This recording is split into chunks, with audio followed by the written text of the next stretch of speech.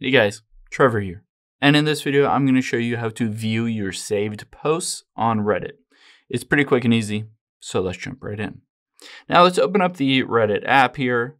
And let's say I'm just going to tap on this random Ask Reddit post.